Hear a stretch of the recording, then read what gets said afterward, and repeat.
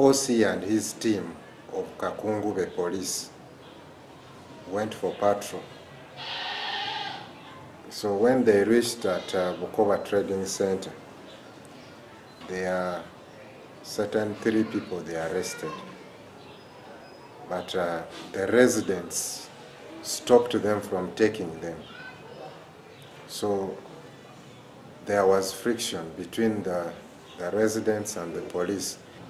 So the officers, in trying to restrain these people, they shot in the air.